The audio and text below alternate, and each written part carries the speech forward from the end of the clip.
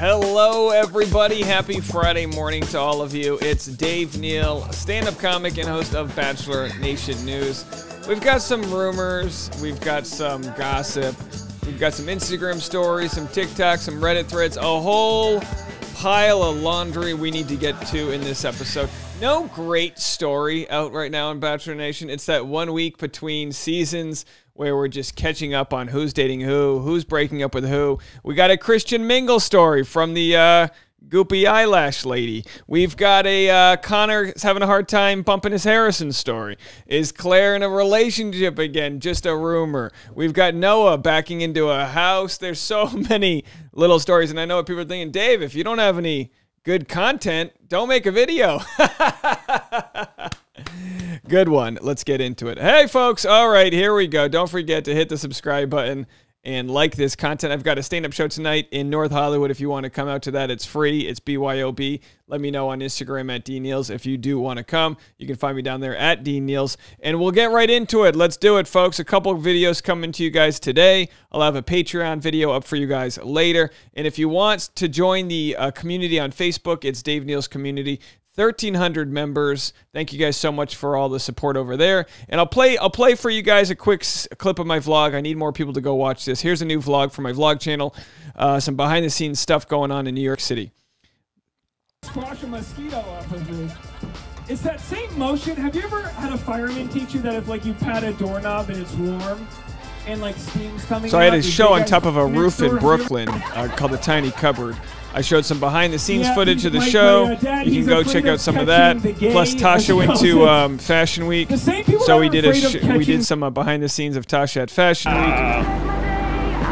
All right, so if you want to go see that, So that's my life. You can go catch that over there. Let's get right into it. First story up, we have Natasha posting a poll about shipping her with Justin or Clay. Who do you ship more? And of course, as we all know, could you imagine if the genders were reversed? Could you imagine? Let's just let's take Justin for example. If Justin was like, "Who do you guys want me to uh, hook up with more, McKenna?" Or you know what I mean? You'd be like, "What are you doing?" Uh, clearly, it's in good fun but um, she had a response from Justin. You know, whenever anybody responds to anybody's stories in in Bachelor Nation, the audience immediately like we're all like a feverish aunt who's like, "Oh, are you dating that that young man that came by?" For you know, well, I don't, I don't know why I sound like a grandmother, but you know what I mean. It's like, we just want to find out that info. So we have Clay. So she basically pitted Clay versus Justin, and um, well, I guess who's on the right? Someone got the 77%. Either way, it doesn't matter. I think it's ridiculous. But um, I don't think if she was actually into either of these two guys, she would have posted a poll.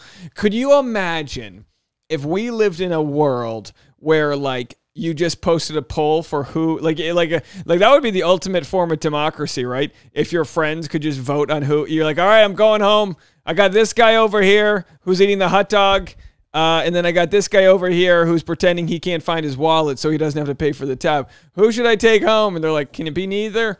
Um, someone, po- so- someone posted, this is super cringe. Also, Justin. People are like, this is gross. Pick Justin. You got to pick Justin. Uh, yeah, Justin, how, how, he, he's a catch, right? Justin's a catch. I hope Clay and Justin were in on the joke because otherwise this is very uncomfortable. This is the cringiest post, but I'm still going to answer Justin. I vote for Clay Aiken before Clay from The Bachelor. I love a good uh, American Idol reference.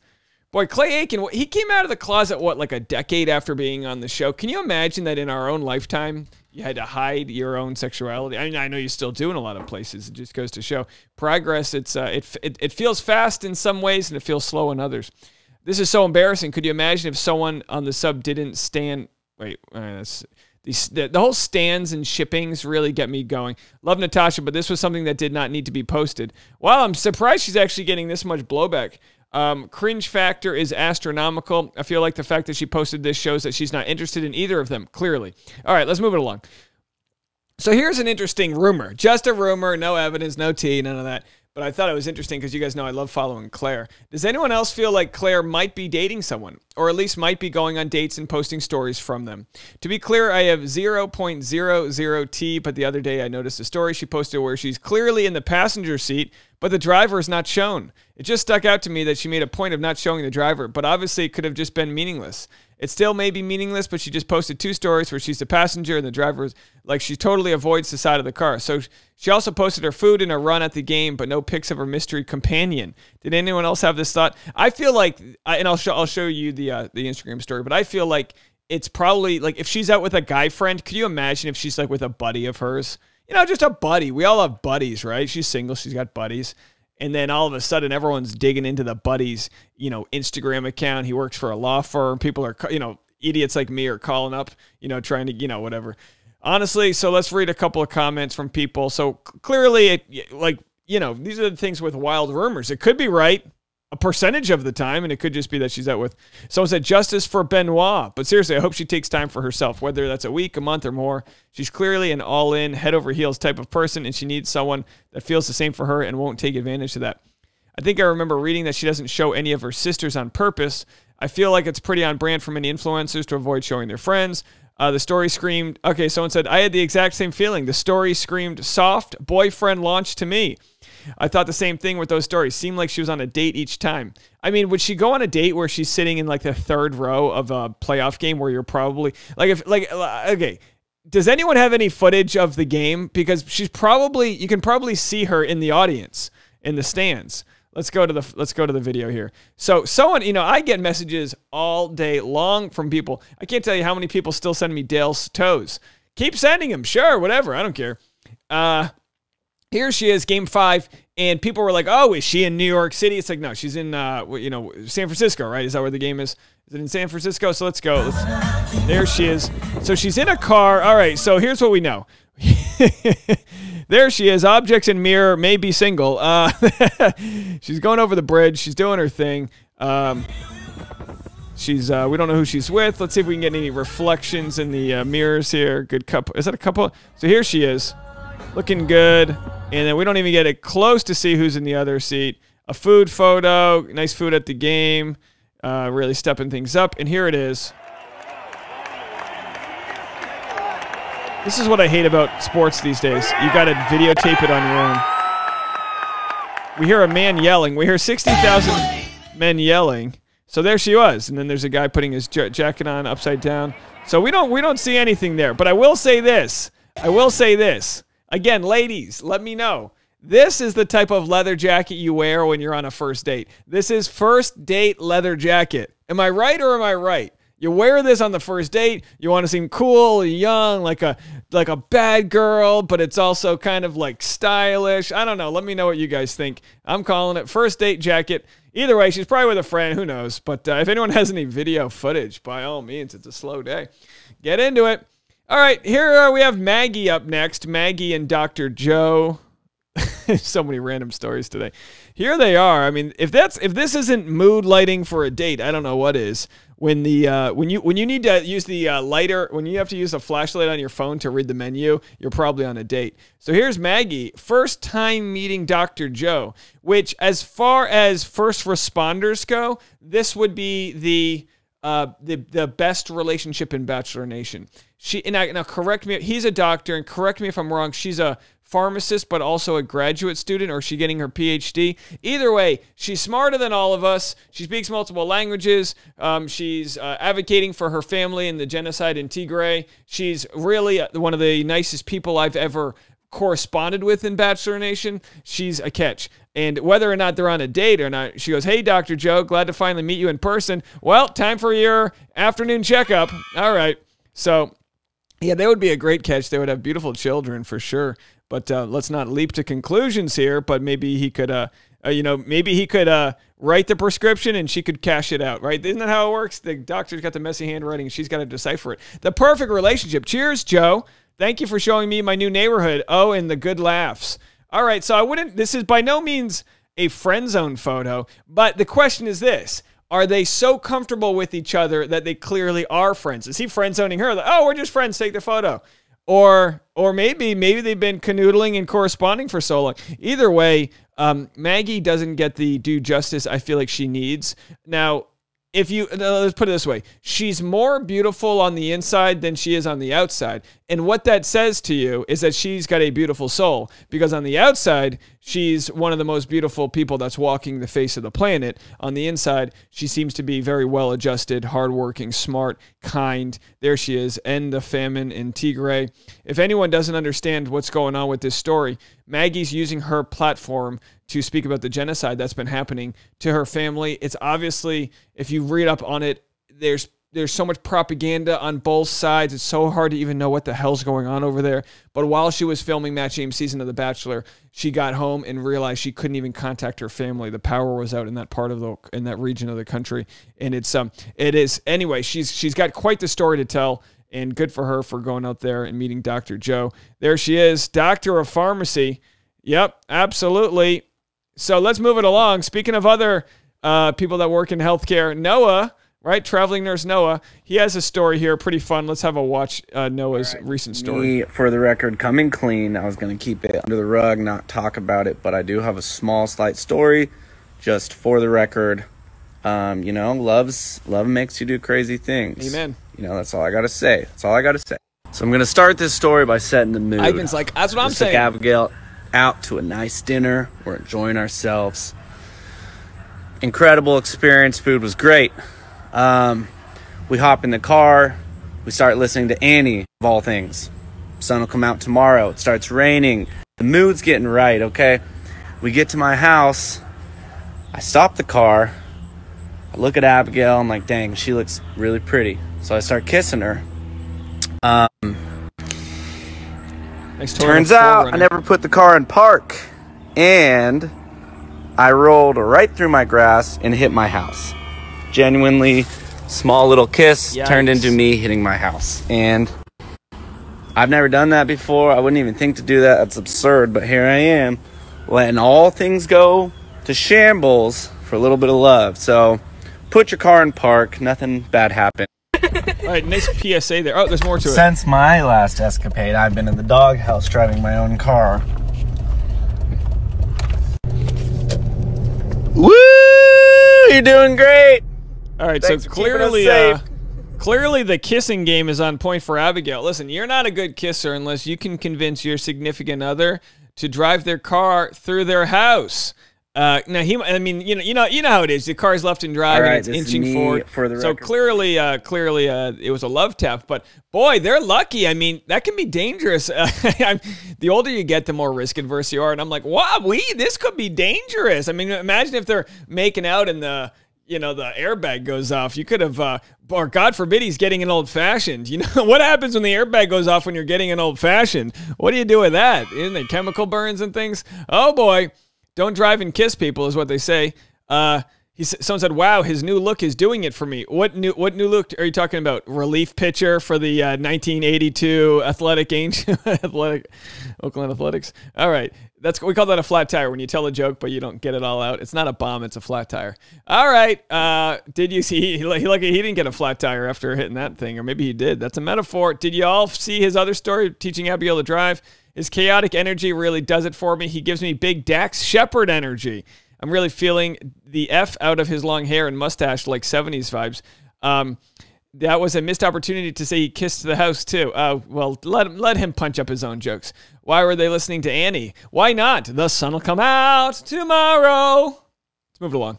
All right, so here we have Serena. I'm not going to be able to play the audio because it's a licensed song. She hops on a hip hop trend. Why are you engaged to someone 11 years older than you? Let's. So that's the question. And then we have Blake Lively, Ryan Reynolds, age difference. We have um, uh, Adam Levine and his uh, I don't know her name. It, it was is that the uh, Abalu? What's okay? And then uh, we've got Jay Z and Beyonce, age difference. Uh, George Clooney and I forgive me for not knowing her name. She's a doctor, but you know, okay. So anyway, I guess um I guess uh I guess she's comparing grocery store Joe to uh uh, Jay Z. I guess she's comparing grocery store Joe to George Clooney. Okay, I guess she's comparing grocery store Joe, or she's comparing herself to Blake Lively. Either way, I know it's all in good fun there, but I'm sure the top comments here are full of snark. Why wouldn't they be? haven't read these yet, but um, you know, all right, yeah, 11 years isn't a huge difference. It's, uh, but then again, a lot of those people, like George Clooney, got with um, it's not it's not Amala, what's whatever her name is. They got together when he was probably what in his 50s, so it's like 11 years becomes less of an age gap the older you get. Obviously, if she's 18 and he's 29, it's it's a little bit different than if uh you know, she's 33 and he's 44. All right. Are we going to completely forget about the fact that Mari is 25 and Kenny is 40? I don't know. Mari doesn't feel as young. I don't know. Is it just me? Serena looks younger. That's a compliment to her. She looks younger. Serena being Gen Z but not using the green screen feature is the funniest part of this TikTok.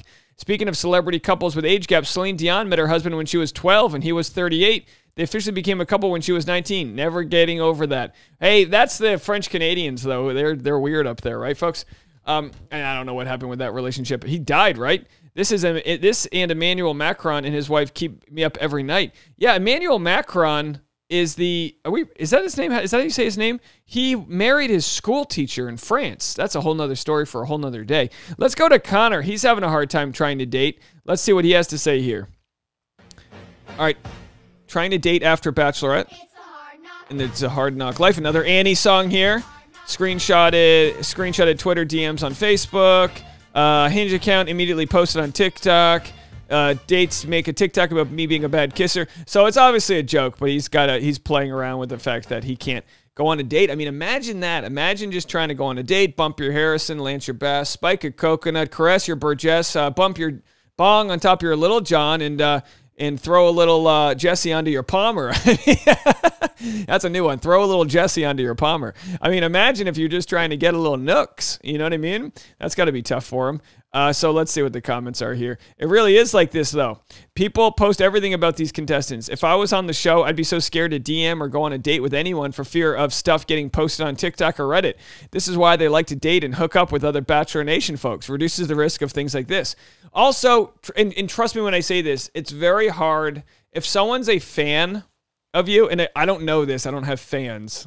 These people have like screaming fans. But I, I did. I, I mentioned this the other day. I was leaving a comedy thing, and someone screams out the window, "Dave Neal, I'm a big fan."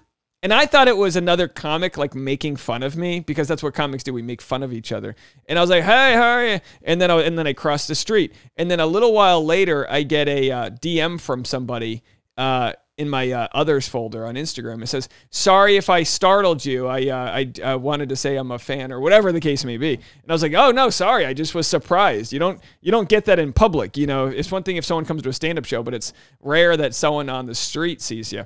So anyway, what's the point of that story? Well, I couldn't imagine what the what these people are going through. They've got a much bigger following, and yeah, I mean, like uh, up until now, he was just a uh, a guy, a musician who would uh, try to, you know, make out with somebody after he plays Sweet Caroline. I mean, isn't this what the, and you know, it's obviously something he's making light of, but you know, you do have to, you, you it's almost like, it's almost like he has to date someone who's at his level, either either in influencing or with their own level of fame. Like someone was saying, like that what Kat Stickler, or whatever her name was. You got to date someone who's like not a fan. You can't date. Don't f your fans. That's where you go wrong. But but if you meet someone out of the bar, who who do you, who are you to know? Maybe you know maybe you know like I'm I'm sure he could go to bars, post that he's at a bar, and then women might show up because they heard he's at a bar if they're into him. You know what I mean? All right, let's go to our last one here. So we save the we usually save the best for last, but in this case, we'll just go to uh, uh this brutal. Um, here we have, uh, what's her name again? Maddie? We have Maddie here. Christian Mingle Maddie. I'm pretty picky when it comes to finding someone, so it makes it a little bit harder and a little bit more difficult, but I know that when that right person comes, it's going to make it so much sweeter and better. And I mean, there's obviously always speculation and people talking about you now because you are on Bachelor Nation, as they say. So, you know, I saw those photos of you with Mikey from Katie's season of The Bachelorette. I wanted to know if there was anything you'd like to clear up there. Bedside Maggie. chats. You know, I am not gonna. I'm not gonna comment on that. I will say Mikey is an amazing guy, um, and I'm in a season right now of fully focusing on my book, fully focusing on you know where God has me right now and honestly don't think I could be in a relationship right this second. I hate this logic. I'm focusing on where God has me right now. God has you trying to bump Harrison's with uh, Mikey Planeta. He put you guys together.